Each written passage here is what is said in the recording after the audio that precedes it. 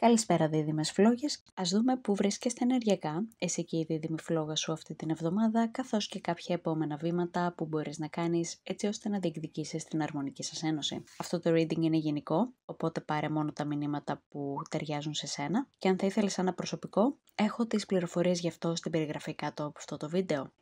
Και ας ξεκινήσουμε όπως πάντα με την κάρτα για τη δίδυμη φλόγα σου, τι σκέφτεται, τι αισθάνεται και ποιες ενέργειες θα έρθουν στην επιφάνεια αυτή τη βδομάδα και έχουμε αξίζεις αγάπη, είσαι αξιαγάπητος ή αξιαγάπητη.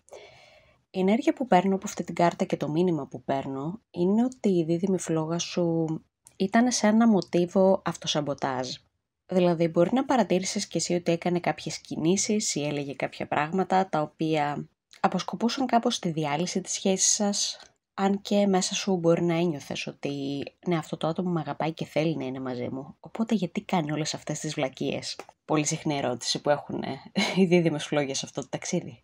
Γιατί τα κάνει όλα αυτά; Σε αυτή την περίπτωση, το μήνυμα που παίρνουμε για αυτή τη βδομάδα είναι ότι για τη δίδυμη φλόγα σου θα έρθουν αυτά τα μοτίβα στην επιφάνεια και συγκεκριμένα θα έρθει ο λόγος για τον οποίο σαμποτάρει τον εαυτό του ή τον εαυτό της ο οποίος είναι ότι αισθάνεται πως δεν σε αξίζει και δεν αξίζει τη σχέση που έχετε. Αυτό μπορεί να είναι συνδεδεμένο με κάποιο παιδικό τραύμα, όπου η δίδυμη φλόγα σου παλιά στα παιδικά του χρόνια ή στα παιδικά της χρόνια ένιωθε ότι δεν άξιζε να λάβει αγάπη από τους γονείς. Οπότε αυτά τα δύσκολα παιδικά χρόνια τα κουβαλάει ακόμα μαζί του ή μαζί της. Γιατί πάντα όταν βιώνουμε ένα τραύμα, σε όποια ηλικία και να το βιώσουμε, αυτό το κομμάτι μας μένει παγωμένο σε εκείνη την ηλικία και σε αυτή τη στιγμή, μέχρι να το θεραπεύσουμε. Και αυτό προφανώς επηρεάζει και τις σχέσεις μας με τους άλλους ανθρώπους. Είτε είναι φιλικές, είτε εργασιακές, είτε είναι η δίδυμη φλόγα σου που είσαι ίσα σε αυτή τη σχέση, επειδή ο σκοπός της είναι θεραπευτικός, αυτά τα τραύματα θα βγουν πολύ πιο εύκολα και πολύ πιο γρήγορα στην επιφάνεια. Οπότε αυτή τη βδομάδα η δίδυμη φλόγα σου θα έρθει στη συνειδητοποίηση ότι δεν χρειάζεται πλέον να σαμποτάρει τον εαυτό του ή τον εαυτό της και δεν χρειάζεται να σαμποτάρει τη σχέση σας. Κάτι άλλο με το αυτοσαμποτάζ είναι ότι μπορεί να αισθανόμαστε ότι αυτό το άτομο θα κουραστεί και θα φύγει έτσι κι αλλιώς, οπότε ας κάνω εγώ κάτι έτσι ώστε να λήξω τη σχέση, για να αισθάνομαι ότι έχω τον έλεγχο. Αυτό μπορεί να είναι και τελείως υποσυνείδητο μοτίβο αλλά το αισθάνομαι ότι για κάποιους από εσάς υπάρχει αυτό στη σχέση σας και προφανώς πρέπει να θεραπευτεί.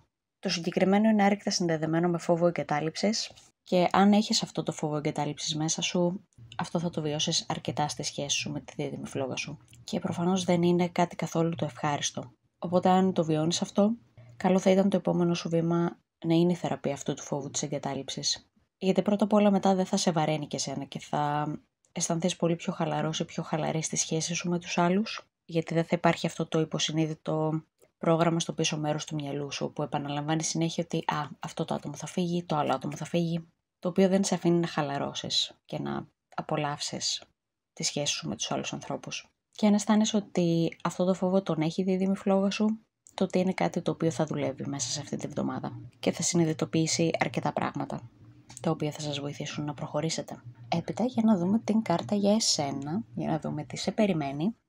Και έχουμε απελευθέρωσε τον πρώην ή την πρώην σου. Ήρθε η ώρα να καθαρίσεις την ενέργειά σου. Αισθάνομαι για τους περισσότερους από εσάς ότι αυτό δεν έχει να κάνει με ένα πρώην ή μια πρώην σαν φυσικό πρόσωπο, αλλά σαν ενέργεια και σαν μοτίβα. Παρατήρησε αν υπήρχε κάτι το οποίο επαναλαμβανόταν σε προηγούμενες σχέσεις σου. Για παράδειγμα, μπορεί να ήσουν με άτομα τα οποία δεν ήταν πιστά σε σένα, όμως αφού το μάθαινες να συνέχιζες να είσαι με αυτά τα άτομα, γιατί υπήρχε αυτός ο φόβος της μοναξιάς. Οπότε το σκεφτόσουν ότι τουλάχιστον είμαι με ένα άτομο, ακόμα και αν αυτό το άτομο δεν μου φέρεται σωστά. Ή οτιδήποτε μπορεί να είναι αυτό στην περίπτωσή σου. Μπορεί σε πολλούς από τους πρώην σου να παρατήρησε το μοτίβο ότι ήταν χειριστικά άτομα. Ή ότι ήταν τεμπελίτσες ή τεμπέληδες και τα περιμέναν όλα από σένα σε αυτή τη σχέση. Οπότε κουβαλούσες εσύ όλο το βάρος της σχέσης. Οτιδήποτε και αν ήταν αυτό το μοτίβο στη σχέση σου, ή μπορεί να ήταν παραπάνω από ένα μοτίβο. Αυτή η εβδομάδα είναι η τέλεια ευκαιρία να ξεκαθαρίσεις και να δεις τι γίνεται με αυτό. Σε αυτό το κανάλι έχω μιλήσει για τη λίστα αγάπης που είναι το εργαλείο που σε βοηθάει να καταλάβεις ποια είναι η δίδυμη φλόγα σου. Και ουσιαστικά είναι μια λίστα με τις ποιότητες και τις αξίες και όλα τα χαρακτηριστικά που θέλεις να έχει ο τέλειος σύντροφος για σένα. Αυτή η εβδομάδα θα ήταν τέλεια για το αντίθετο από αυτό. Δηλαδή, ποια είναι τα πράγματα τα οποία δεν θες με τίποτα να έχεις σε μια σχέση και δεν θες με τίποτα να έχει ο σύντροφός σου. Και αυτή η λίστα θα σε βοηθήσει να ξεκαθαρίσεις αν είσαι ακόμα σε διαδικασία αποκάλυψης δίδυμης φλόγας, να ξέρεις που είναι τα όρια σου. Και μετά προφανώς είναι πολύ σημαντικό να τα τηρήσεις τα όρια σου αφού τα ανακαλύψεις. Ή θα σε βοηθήσει και να επεκτείνεις τη λίστα αγάπης σου, γιατί για παράδειγμα αν ήσουν με ένα άτομο το οποίο δεν έκανε καμία προσπάθεια για τη σχέση σας, αυτό που μπορείς να γράψεις στη λίστα αγάπης σου είναι ότι είσαι με ένα άτομο το οποίο σε κάνει να νιώθεις αγαπητός ή αγαπητή, κάνει πράγματα για σένα, δείχνει το ενδιαφέρον του ή το ενδιαφέρον της. Και το επόμενο βήμα αυτού, το οποίο είναι για ακόμα πιο δυνατούς παίκτες, είναι να δεις αυτή την αρνητική λίστα, να την κοιτάξεις ειλικρινά και να δεις αν υπάρχει τίποτα από όλα αυτά τα οποία τα κάνεις στον εαυτό σου. Για παράδειγμα, αν ήσουν με έναν σύντροφο που δεν σε άκουγε και δεν άκουγε τα προβλήματά σου και σε αγνοούσε ή ήθελε μόνο να περνάτε καλά και δεν το ένοιαζε αυτό το άτομο η ουσία της σχέσης σας. Παρατήρησε πώς μιλάς εσύ στον εαυτό σου. Μήπως κάποιες φορές αγνοείς τα συναισθήματά σου ή λες ότι έλα μωρέ είμαι υπερβολική ή είμαι υπερβολικός. Ίσως δεν δίνεις το χώρο και το χρόνο στον εαυτό σου να βιώσεις πλήρως τα συναισθήματά σου. Οπότε αυτό σε κάνει να μένεις σε σχέσεις με άτομα τα οποία δεν σε ακούνε. Γιατί αυτό υποσυνείδητα αναγνωρίζεις σαν οικείο. Και οποιοδήποτε από αυτά τα μοτίβα τα βρεις στη σχέση σου με τον εαυτό σου, το να τα αναγνωρίσεις είναι το πρώτο βήμα στο να τα επιλύσεις. Και όταν επιλύσει αυτά τα μοτίβα από τη σχέση σου με τον εαυτό σου, τότε τα επιλύεις αυτόματα και στη σχέση σου με τη δίδυμη φλόγα σου. Γιατί ουσιαστικά πάντα η σχέση σου με τη δίδυμη φλόγα σου ξεκινάει εσωτερικά από εσένα και έπειτα μπορείς να δεις αυτή τη σχέση να καθρεπτίζεται και εξωτερικά στη σχέση που έχεις με τη δίδυμη φλόγα σου. Όσο πιο σταθερή και υγιή σχέση έχεις με τον εαυτό σου και με τον δημιουργό σου, τόσο πιο σταθερή και υγιής θα είναι η σχέση που έχεις με τη δίδυμη φλόγα σου. Και γι' αυτό η προτεραιότητα είναι πάντα το μέσα σου, στο ταξίδι της δίδυμης φλόγα σου. Και όχι τόσο τι συμβαίνει με τη δίδυμη φλόγα σου. Αυτό μπορείς πάντα να το χρησιμοποιήσεις σαν έναν καθρέπτη. Μου δείχνει ότι συμβαίνει αυτό. Πώς μπορώ να το επιλύσω μέσα μου; Και όσο το επιλύεις μέσα σου, επιλύεται και από μόνο του το πρόβλημα. Και η δίδυμη φλόγα σου σταματάει να έχει τις περίεργες συμπεριφορές. Και τέλος, ας δούμε τα επόμενα σου βήματα. Τι μπορείς να κάνεις έτσι ώστε να επισπεύσεις την αρμονική σου ένωση. Και έχουμε κράτα ένα ανοιχτό μυαλό. Η δίδυμη φλόγα σου μπορεί να διαφέρει από τον συνηθισμένο τύπο σου και από αυτό που περιμένεις. Και αυτό είναι μια πάρα πάρα πολύ σωστή συμβουλή. Έχω ακούσει από πάρα πολλές δίδυμες φλόγες ότι το άτομο το οποίο τους αποκαλύφθηκε σαν δίδυμη φλόγα τους ήταν τελείως άσχετο με, το, με τον τύπο που είχαν στο μυαλό τους, σαν το ιδανικό άτομο. Δηλαδή, σου αρέσουν οι ξανθοί, μπορεί να ήταν μελαχρινός. Σου αρέσουν οι αθλητικοί τύποι, μπορεί να ήταν τελείως το αντίθετο. Οι κάποιες δίδυμες φλόγες ακόμα ήταν και διαφορετικό φύλλο από αυτό που προτιμούσαν. Αλλά ακόμα και έτσι με αυτές τις διαφορές, αυτή η σύνδεση και αυτή η σχέση και η έλξη μεταξύ τους παρέμενε μοναδική και παρέμενε τέλεια, ακόμα κι αν η δίδυμη φλόγα τους ήταν αρκετά διαφορετική από αυτό που περίμεναν. Οπότε, αν είσαι στη φάση που προσπαθείς να αποκαλύψεις ποια είναι η δίδυμη φλόγα σου, η συμβολή σου είναι να κρατήσεις ένα ανοιχτό μυαλό.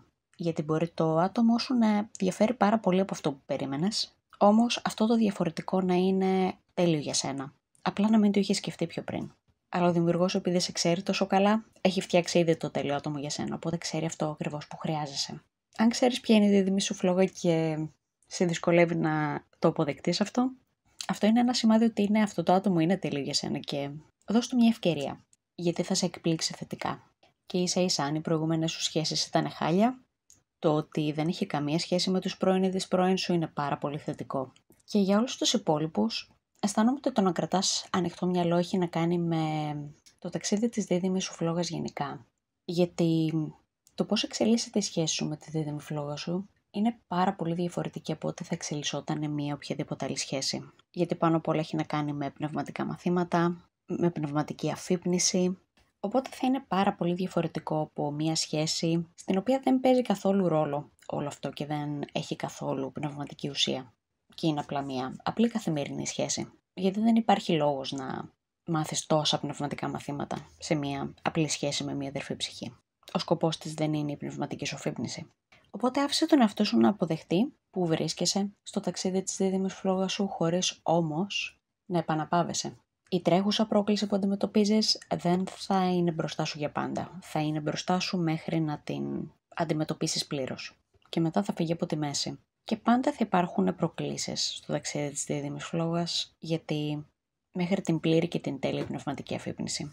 Οπότε απλά χαλάρωσε και απόλαυσε το ταξίδι και απόλαυσε όλη την πρόοδο που έχεις κάνει μέχρι τώρα. Γιατί σίγουρα είσαι πάρα πολύ διαφορετικός άνθρωπος τώρα από ό,τι ήσουν όταν ξεκίνησες ή ακόμα και πριν ξεκινήσεις αυτό το ταξίδι. Και αυτές οι αλλαγές είναι πάρα πολύ όμορφες, γιατί σε βοηθούν να έρθεις πιο κοντά με τον αυθεντικό σου εαυτό και να είσαι το άτομο το οποίο πάντα ονειρευόσουν.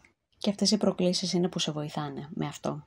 Οπότε κράτα ένα ανοιχτό μυαλό και μην βάζεις αυτό το ταξίδι σε κουτάκια, γιατί πάντα εδώ που βρίσκεσαι τώρα θα σε οδηγήσει κάπου πάρα πολύ όμορφα, το οποίο δεν μπορείς να ξέρεις ακριβώς πού από τώρα, γιατί κανείς μας δεν το ξέρει αυτό, όμως μπορείς να εμπιστευτείς το δημιουργό σου ότι σε οδηγεί κάπου πολύ όμορφα. Και μετά από αυτό σε οδηγεί κάπου ακόμα πιο όμορφα. Και ούτω καθεξής.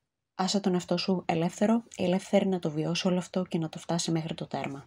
Όπου σε περιμένουν τόσες πολλές ευλογίες και τόσα όμορφα πράγματα τα οποία δεν μπορείς καν να τα φανταστείς τώρα. Οπότε αυτά είχα για εσάς, δίδυμες μου φλόγες. Σε ευχαριστώ πολύ που παρακολούθησες αυτό το βίντεο και θα σε δω την επόμενη εβδομάδα.